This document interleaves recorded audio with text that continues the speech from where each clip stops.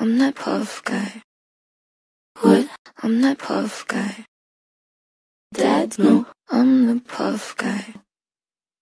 So you're a puff. guy.